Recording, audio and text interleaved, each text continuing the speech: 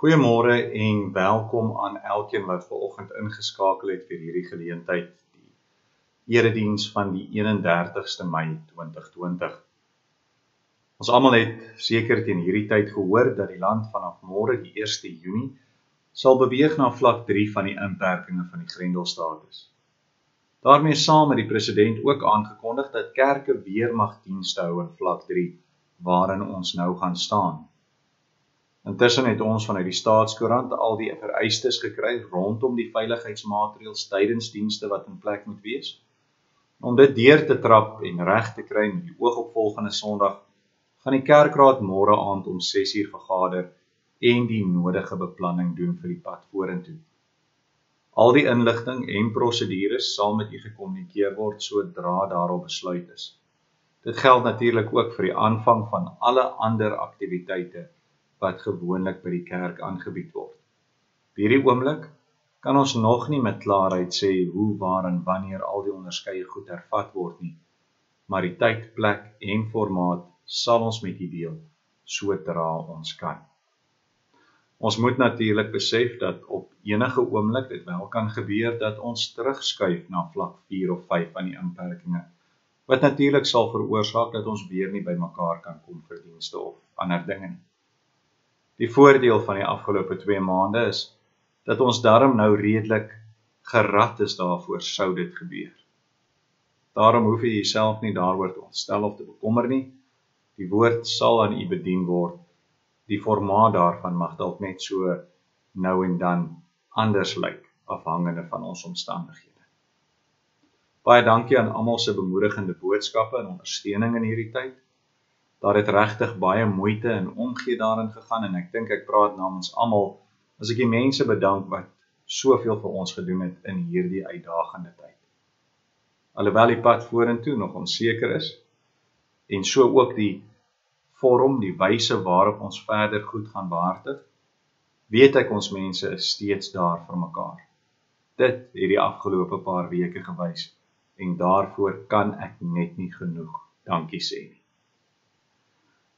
Dan natuurlik wil ek van hierdie geleentheid gebruik maak om ons Here en ons God te prys en hom te dank. Alles is in sy hande. En daarom besef ons ook dat die stap weer terug in die rigting van die normale 'n verhoring is van ons gebede. Niks meer en niks minder nie. Aan hom die eer wat ons deur hierdie tyd tot hier toe gedra het en ook verder die pad saam met ons stap. Dit is waarlik wonderlik en heerlik om U ons God en Vader te mag noem. Vanoggend se preek word dan weer aan U gebied in drie opsies. U kan die een kies wat u die beste pas. Daar is 'n beeldopname, 'n klankopname en 'n geskrewe weergawe van die preek.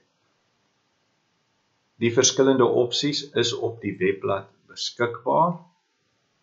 Die video-opname neem natuurlik die meeste data, die geskrewe weergawe by verre die minste. Die ideaal bly die video-opname, maar almal het nie um, onbeperkte data nie. Nou die skakel na ons webblad is apktygerberg.co.za.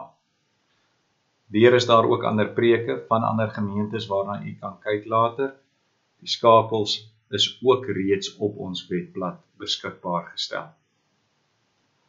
As ons dan vanoggend kyk na die afkondigings, dan sal u sien op die eerste bladsy ons teksvers en skriflesing. Dit vind ons in Psalm 128. Dis 'n kort Psalm, 6 verse. Ons gaan dit alles saam lees. Teksvers is die 4de vers. Kyk, so sal sekerlik geseën word die man wat die Here vrees. Die tema die belangrikste oes van die lewe. Op bladsy 2 soos ons gesê het ons gaan af na fase 3 van die inperkings van die Grendelstatus. Daar is sekere implikasies ten opsigte van ons normale kerklike aktiwiteite maar omdat ons op hierdie stadium nog onseker is, sal dit later aan u gekommunikeer word. Belangrike datums vandag nou die erediens om 9:30, dan vanmiddag 5:00 sal daar weer vir u 'n elektroniese Bybelstudie gestuur word. Môre aand, die 1 Junie om 6uur, daardie baie belangrike kerkraadsvergadering wat ek aan u genoem het, vra u voorbidding daarvoor en dan volgende week weer die erediens om 9:30 en Bybelstudie om 5uur. Die formaat waarin dit gaan geskied, weet ons uit die aard van die saak nog nie. Lief en leed dra al ons lidmate in hierdie beproewende tyd op aan ons hemelse Vader. Ons dink in besonder aan oom Bokkie en tannie Ria, oom Kobus, tannie Petro, Pat en tannie Mimi, oom Neil en tannie Cora, en oom Leon Bryant en ook tannie Annetjie Buys. Ons doen voorbereiding vir Gideon de Waal se skoonpa. Hy is baie siek. Hy veg teen sagte weefsel sarkoom en op hierdie stadium kry hy regtig bitter swaar. Dan vra ons ook voorbereiding vir Ilse ter Blanche van AP Kerk Hartbeespoort. Haar familie spook tans om al die finansies bymekaar te maak vir haar verdere behandeling. Dit wat sy nou onlangs ontvang het, het ek gehoor, het baie goed verloop. Daarvoor is ons opreg dankbaar. En baie dankie vir die skenkings wat ons ontvang het ten opsigte van al die goed wat in plek gekry moes word vir wanneer die normale dienste hervat word. Dit sluit in 'n baie duur termometer, 'n groot volume ontsmettingsmiddel ensovoorts. Opregte dank aan elkeen wat daartoe bygedra het. En dan was daar ook van ons lidmate wat so gaaf was om die verf en die arbeid te skenk sodat die kerk se mure aan die buitekant geverf kon word. Dit lyk regtig pragtig en al die tyd en die moeite wat daarin gegaan het word opreg gewaardeer die arbeid wat geskenk is, is ook hulle eie arbeid en daarvoor sê ons baie baie dankie. As ons kyk na die afgelope week se Pinksterdienste, dan weet jy die tema was wat bid ons was gefokus op die inhoud, innerlike faktore van gebed. Nou uit die aard van die saak was dit elektronies aangebied en versprei. Die voorbeeld of die voordeel natuurlik daarvan is dat dit steeds beskikbaar is vir diegene wat dit nie ontvang het nie. Laat asseblief die wykse kerkraadslid weet sou dit die geval wees dat ons 'n plan kan maak om dit by u te kry. Bybelstudie gaan dieselfde formaat hê as laasweek. Ons kan nog steeds nie bymekaar kom soos wat ons altyd het nie.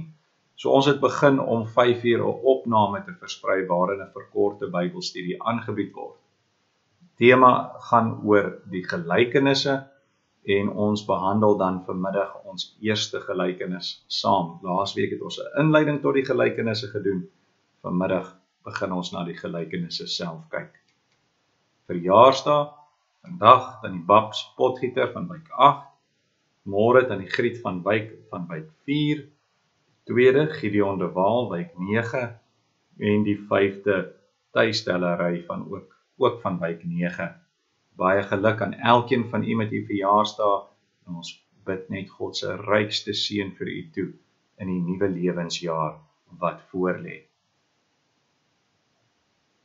Onthou asseblief om die gemeente sowel as die kerk se amptelike Facebook bladsye dop te hou. Enige verdere belangrike inligting sal met u ook daar gedeel word. Ek gaan vra dat u dan nou u Psalm en Gesangeboekie sal oopmaak by Psalm 146. As wydingslied vir oggend gaan ons daar sing die eerste, die derde en die agste strofes. En dan kan u ook blaai na Gesang 299 nadat ons saam geluister het na die fotum en gebid het om die seën gaan ons sing die eerste en die tweede strofes as ons lofsang vanoggend. Dis wydingslied Psalm 146 1 3 en 8 en as lofsang gesang 299 1 en 2.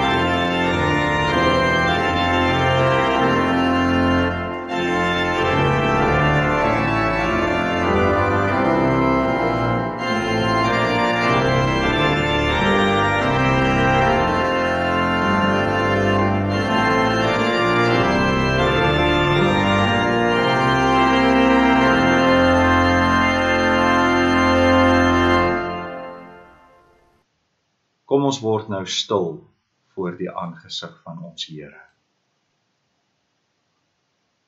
Luister na my stem, dan sal ek vir julle 'n God wees en julle sal vir my 'n volk wees, spreek die Here.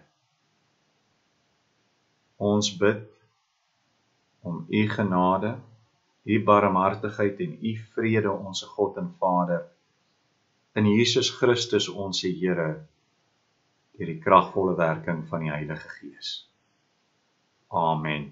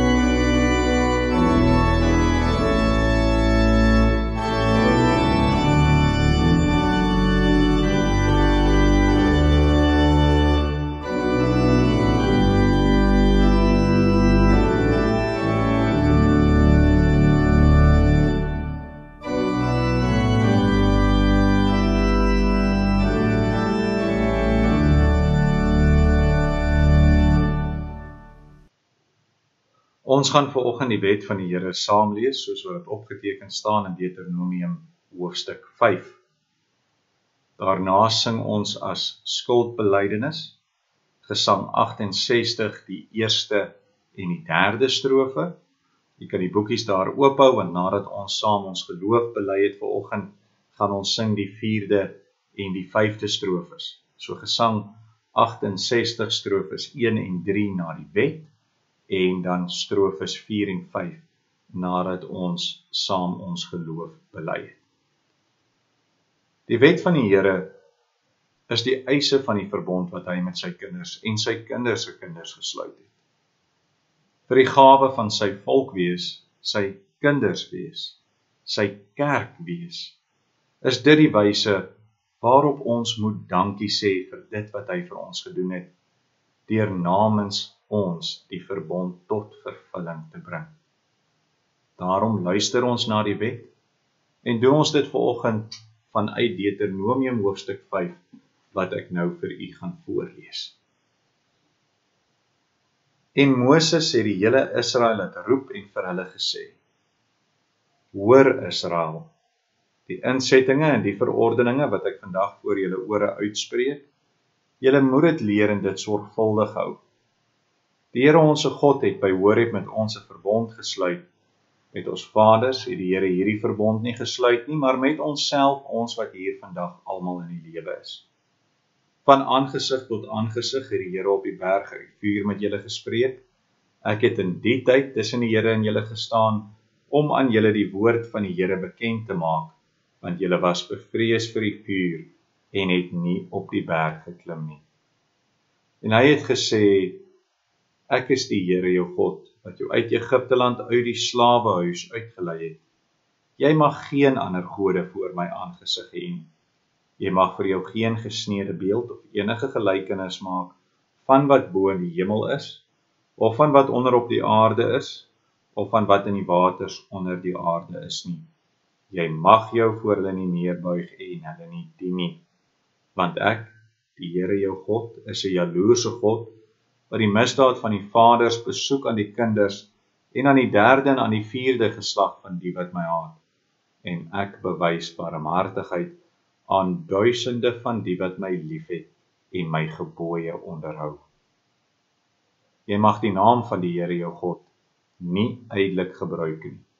Want die Here sal die een wat sy naam uitelik gebruik nie ongestraf laat bly nie. Onderhou die Sabbatdag dat jy dit heilig soos die Here jou God jou beveel het. 6 dae moet jy arbei en al jou werk doen, maar die sewende dag is die Sabbat van die Here jou God. Dan mag jy geen werk doen nie. Jy of jou seun of jou dogter, jou dienskneg of jou diensmaagd, jou os of jou esel of enige dier van jou of jou vreemdeling wat in jou poorte is nie, sodat jou dienskneg en jou diensmaagd kan rus soos jy. En jy moet daaraan dink dat jy in Egipte land 'n slaaf was en die Here jou God jou daarvandaan uitgelei het deur 'n sterke hand en 'n uitgestrekte arm. Daarom het die Here jou God jou beveel om die Sabbatdag te hou. Eer jou vader en jou moeder soos die Here jou God jou beveel het. Dat jou dae verleng mag word en dat dit met jou goed mag gaan in die land wat die Here jou God aan jou gee. Jy mag nie doodslaan nie en jy mag nie egbreek nie en jy mag nie steel nie En jy mag geen valse getuienis teen jou naaste spreek nie. En jy mag nie jou naaste se vrou begeer nie en jy mag nie na jou naaste se huis hinker nie. Na sy landerye of sy dienskneg of sy diensmaag, sy os of sy esel of iets wat van jou naaste is nie. Met hierdie woorde het die Here julle hele vergadering op die berg uit die vuur, die wolk en die wolke donkerheid met 'n groot stem toegespreek en niks meer nie en hy het dit op twee kliptafels geskrywe en dit aan my gegee.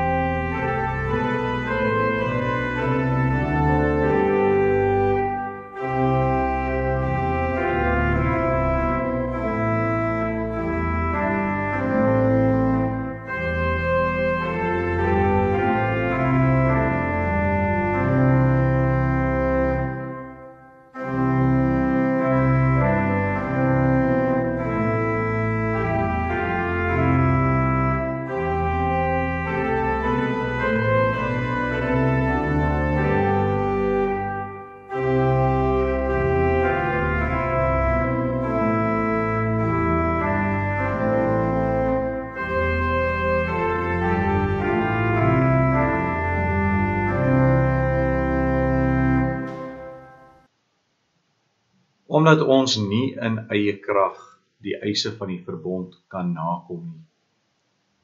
Het God Christus, sy seun gestuur wat die eise vir ons nagekom het. Die straf vir die verbreeking van die verbond vir ons betaal het en in hom aan ons die beloftes van die verbond verwelk verwerklik het. En daarom het ons die Gees ontvang as bewys van ons kunskap Romeine 8 vers 14 en 15. Want almal wat deur die Gees van God gelei word, die is kinders van God. Want julle het nie ontvang 'n gees van slawerny om weer te vrees nie, maar julle het ontvang die gees van aanneming tot kinders, deur wie ons roep Abba, Vader. Saam kan ons daarom vanoggend ons geloof bely en doen ons dit met die woorde van die 12 artikels wat hier in die hart saam met my spreek. Ek glo in God die Vader, die Almagtige, Skepper van die hemel en die aarde, en in Jesus Christus, sy enige gebore Seun, ons Here, wat ontvang is van die Heilige Gees, gebore uit die Maagd Maria, wat gelei het onder Pontius Pilatus, gekruisig, gestorwe en begrawe is en ter hulle neergedaal het wat op die derde dag weer opgestaan het uit die dode opgevaar het na die hemel en sit aan die regterhand van God die almagtige Vader van waar hy sal kom om te oordeel die lewende en die dode. Ek glo in die Heilige Gees. Ek glo aan 'n heilige algemene Christelike kerk die gemeenskap van die heiliges die vergifnis van sondes, die wederopstanding van die vlees en die ewige lewe.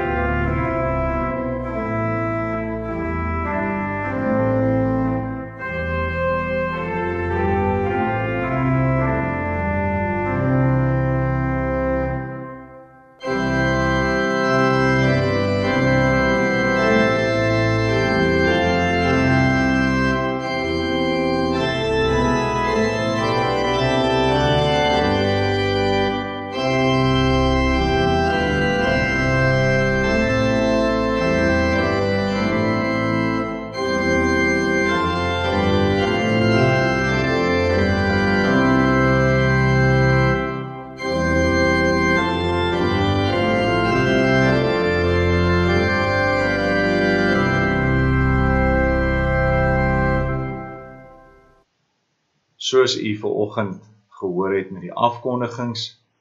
Ons skriflesing is die pragtige maar kort Psalm 128. Daar gaan ons saam lees al 16 strofes. Ek gaan dit vir u nou voorhou vanaf strofe 1. Die opskrif daar seën in die huisgesin. Ek lees vir ons saam Psalm 128. 'n Bedevaartslied Welgeluksalig is elkeen wat die Here vrees, wat in sy weë wandel. Die opbrengs van jou hande sal jy sekerlik eet. Gelukkig is jy en dit gaan met jou goed. Jou vrou is soos 'n vrugbare wingerdstok binne in jou huis. Jou kinders soos olyfboompies rondom jou tafel. Kyk, so sal sekerlik geseën word die man wat die Here vrees mag die Here jou seën uit Sion dat jy die voorspoed van Jerusalem mag aanskou al die dae van jou lewe en dat jy jou kinders mag aanskou. Vrede oor Israel. Ons lees net tot sover saam teksvers vers 4 kyk so sal sekerlik geseën word die man wat die Here vrees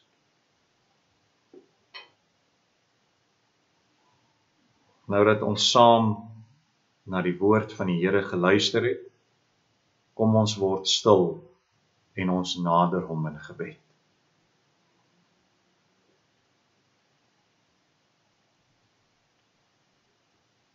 Almagtige God, groote koning, ewige Here, voor U staan ons in verwondering. Net die afgelope week het ons die voorreg gehad om Pinkster te vier. En saam kom ons elke aand U nader in gebed. Dit terwyl ons meer geleer het oor gebed en ook van ons eie gebede. Ook hierdie week het ons die wonder ervaar waar ons gesien het hoe dat U ons gebede verhoor. Ons weet enige hulp en redding in ons lewens is vanaf U die Here wat hemel en aarde gemaak het. Daarom sê ons vir U dankie dat ons weer binnekort saam in die kerkgebou mag vergader. Dankie dat U ons mense beskerm het in hierdie moeilike tyd. Wees ook verder met hulle, veral die wat weerbaar is, ook hulle wat hartseer beleef het, en hulle wat geliefdes verloor het. Dankie dat U ons as kerkverband gedra het deur hierdie moeilike tye en dat ons weet U hou self U kerk in stand ook in die dae wat nog moet volg. Daar is maar altyd groot uitdagings. Maar niks is groter as ons Here nie.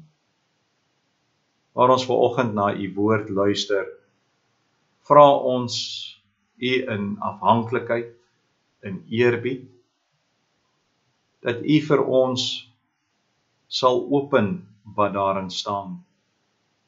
Dat U vir ons sal wys dit wat ons moet sien. Dat ons daarna sal luister na dit wat ons moet hoor.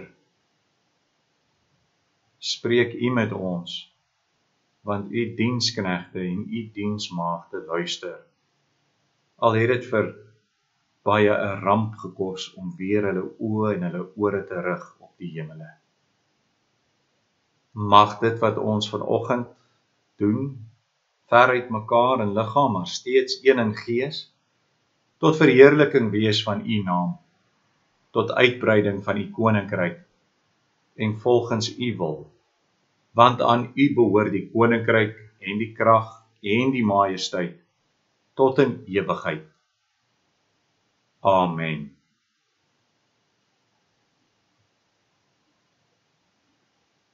Nou vanoggend gaan ons praat oor iets wat ons almal na aan die hart lê. Ons praat oor ons gesinne. Die afgelope paar maande het ons forceer om om sekere waarhede te herontdek. Die feit dat ons nie kon kerk wees in die norm waaraan ons gewoond was nie, het ons maak dink en laat besin oor wat kerk is en presies behels. Die realiteit wat ons skielik weer moes toepas en handhaaf is dat die gesin die gemeente in die kleine is. Dit is ook die formaat waarin ons ons kerkwees dan moes beoefen die afgelope ruk in die kleine eerder as in die breë gemeenskap iets wat ons veronderstel was om nog altyd ook te doen maar agterweë gelaat het vir 'n baie baie lang tyd. Want vir ons het kerk wees geword om in die banke te sit lekker saam te sing tot eer van die Here ja en dan na die dominee te luister. Maar as dit alles wat kerk wees behels het dan het dit beteken dat ons die afgelope ruk nie meer kerk was nie. Dit is egter deur die genade nie die geval nie. Ons is kerk op grond van die vervulling van die verbond wat God met ons gemaak het. Daarom is ons verbondskerk en verbondsgesinne op grond van wat God gedoen het en nie wat ons self doen nie. God het met sy kinders 'n verbond gesluit vanaf die vroegste tye in die geskiedenis af. Die volle implikasie en die volle diepte daarvan te besef, moet ons natuurlik verstaan wat die verbond behels. Nou 'n verbond in die antieke tye was 'n ooreenkoms of 'n verdrag wat 'n regerder van 'n land met sy onderdane gesluit het. Hy as heerser het die inisiatief geneem om dit te doen en om hierdie guns aan aan sy mense te bewys.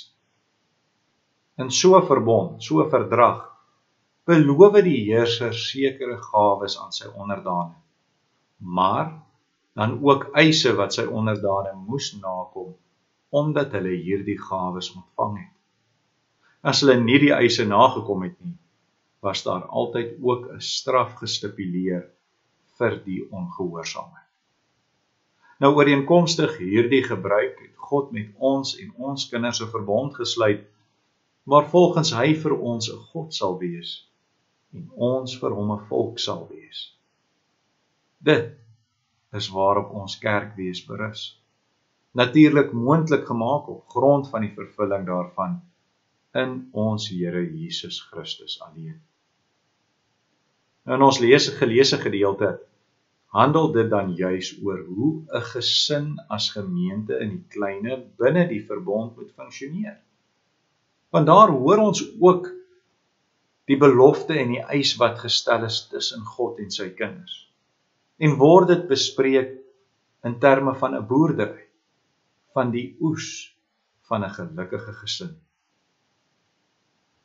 Om deel te wees van 'n gelukkige gesin is verseker een van die wonderlikste ervarings wat 'n mens hier op aarde kan hê.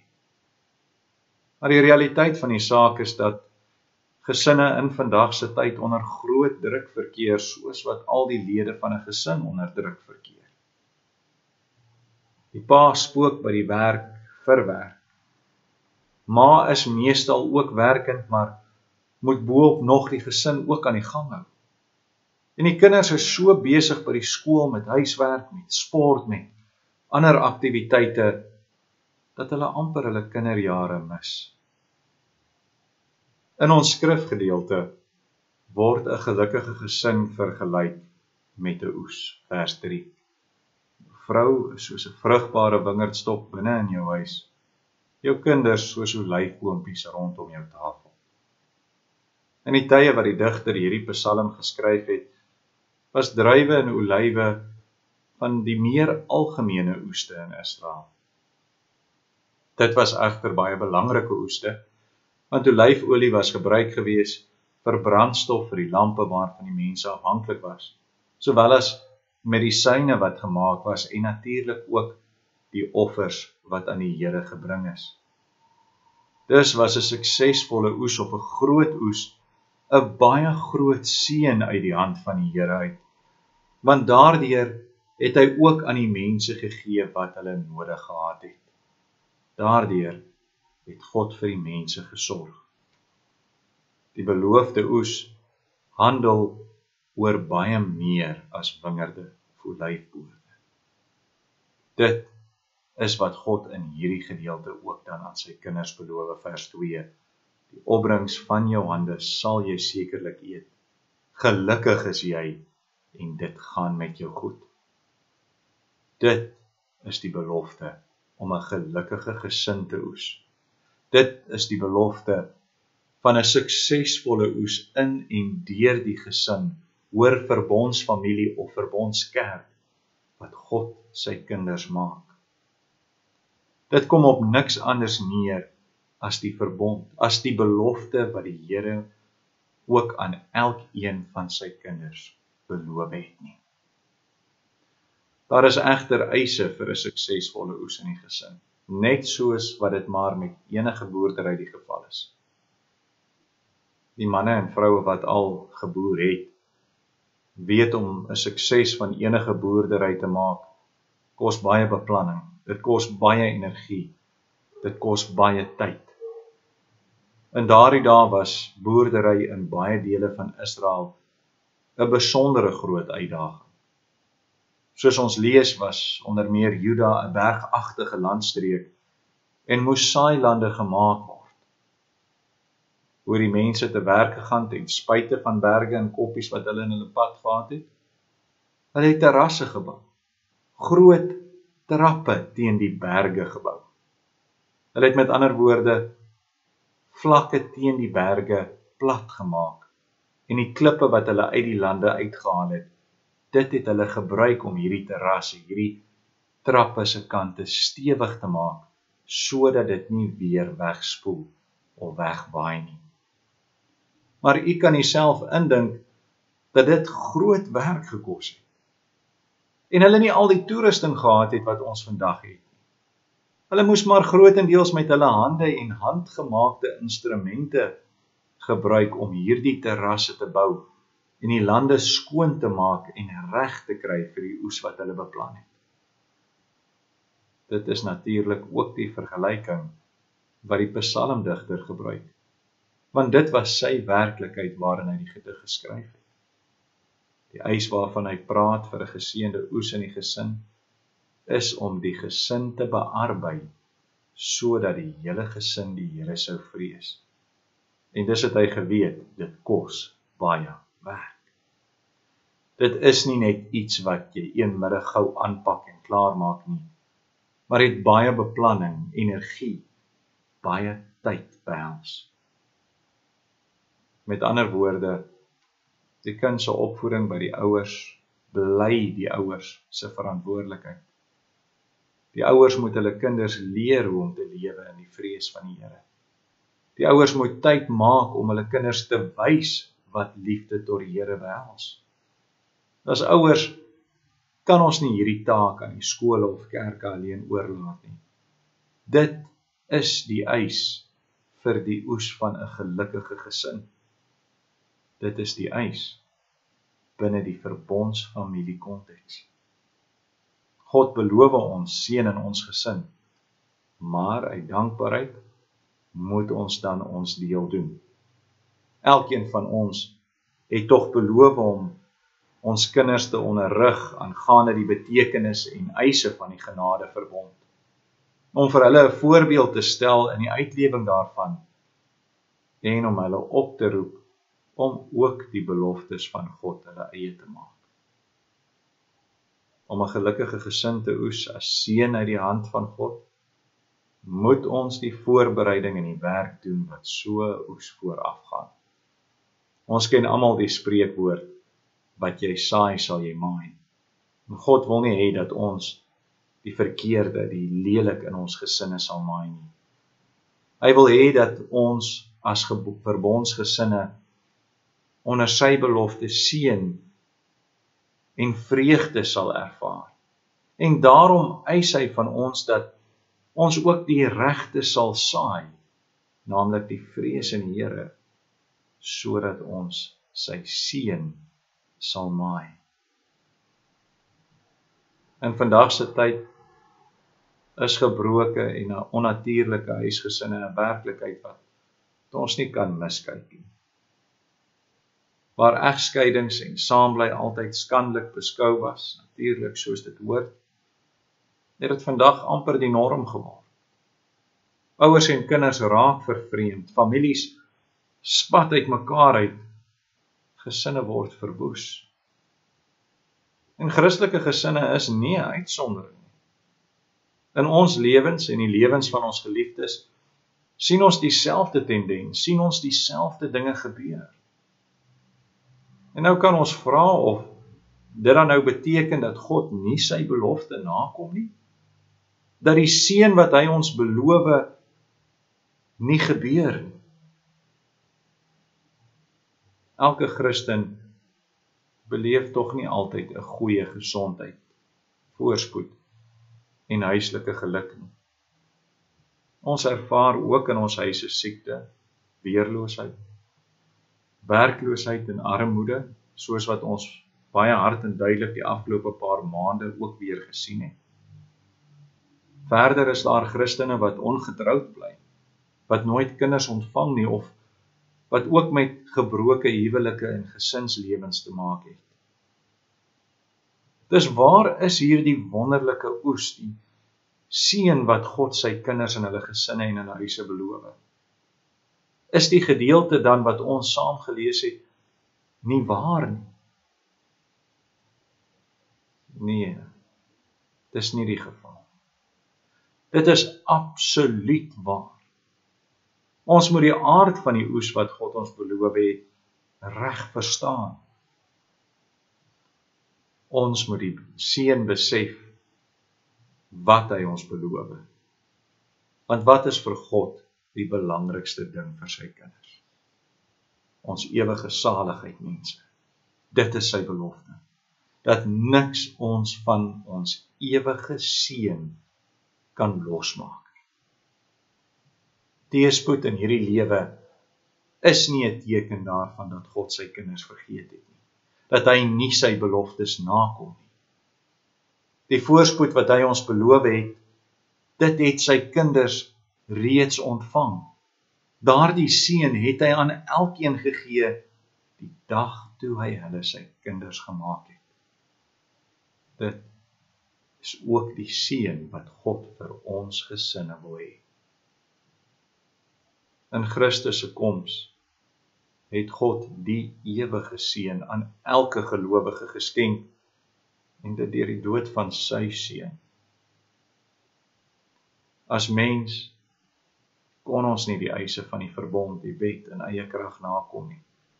En daarom het die straf van die verbond, die ewige dood oor elkeen van ons en ons gesinne gerus.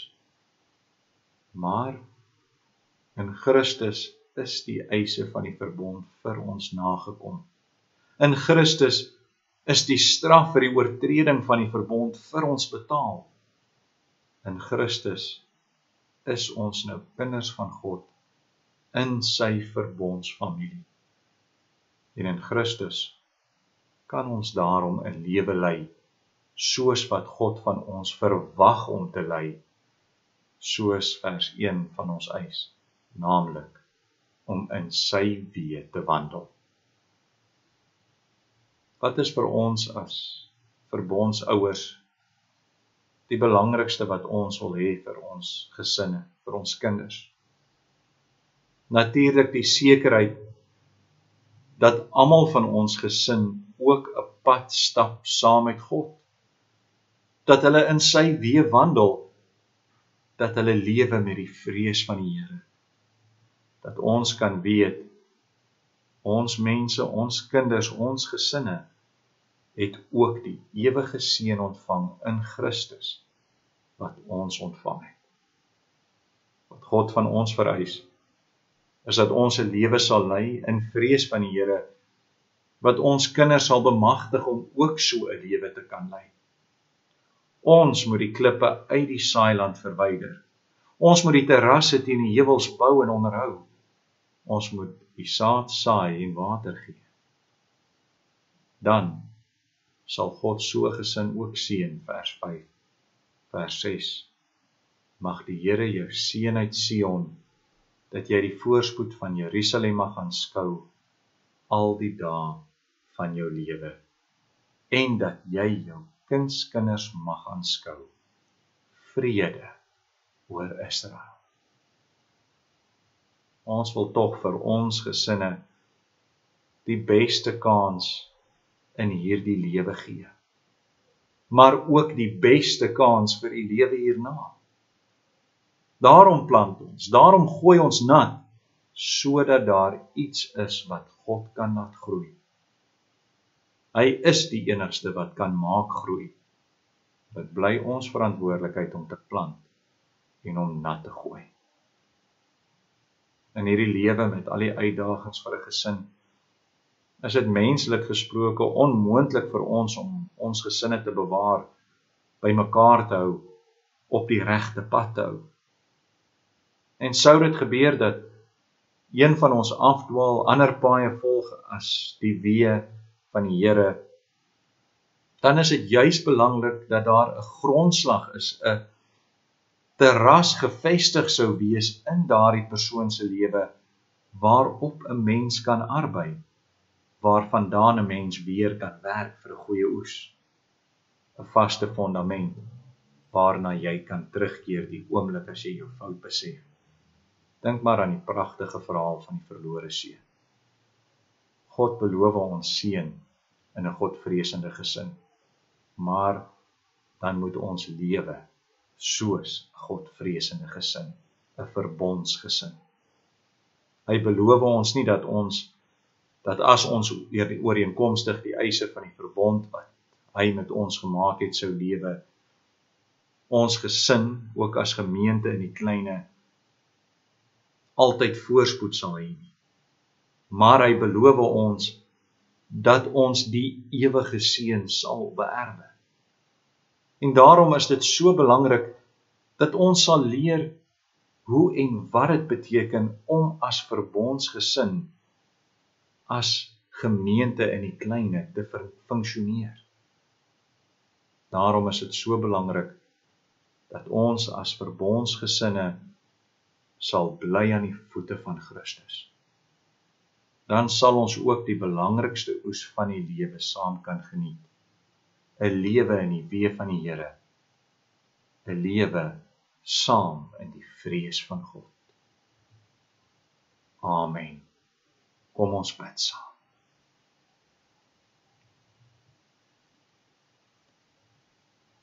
Ewige God, groote God, Skepper God, verbonds en redder God.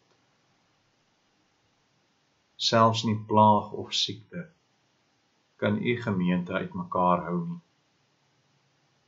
Selfs nie ramp of tragedie kan kerkwees verhinder nie. In ons huise waar ons saam is, daar is ons saam kerk, want in u is ons die kerk. Deur u beskikking U verbond is ons gesinne, die gemeente in sy kleine. Want elkeen van die kinders is kerk in volle reg. Dit is alles alleen aan U te dank. Dit is alles in U alleen moontlik. Die groot genade dat U die mens in sy sonde genader het. 'n verbond met hom gesluit het dit in sy plek nagekom het ten koste van Christus se lewe sodat ons as verbondskinders u Vader kan noem. Dit los tog by ons 'n groot verantwoordelikheid want nou moet ons ook uit dankbaarheid leef soos verbondskinders. Ons kan nie leef asof daar nie 'n verhouding tussen ons en U is nie. Ons kan nie aangaan asof die verbond nie bestaan nie. Al is ons in hierdie wêreld, mag ons nie leef asof ons ook van hierdie wêreld is nie. Help ons dat ons gesinne as gemeentes in die kleinste ons verbondswerklikheid ten volle sal uitleef sodat dit ook ander na u verbond sal lei. Hou u hand van bewaring oor ons huise want ons weet Satan teiken gesinne. Hy breek die gemeente in die kleinste sodat hy dit ook dan in die grootte kan vernietig. Daarom is dit so belangrik dat ons gesinne sal staande bly op die vaste fondament. Die fondament wat ons Here Jesus Christus is. Mag vandag se boodskap inslag vind in ons lewens verandering bring daar waar in ons huise dit ook nodig is. Seën hierdie gemeente en vergewe ons waar ons maar nog steeds soms teen die verbond oortree. Asof ons nie dankbaar is vir dit wat U vir ons gedoen het nie. Aan U alleen al die eer, die heerlikheid vanaf ewigheid tot en met ewigheid. Amen.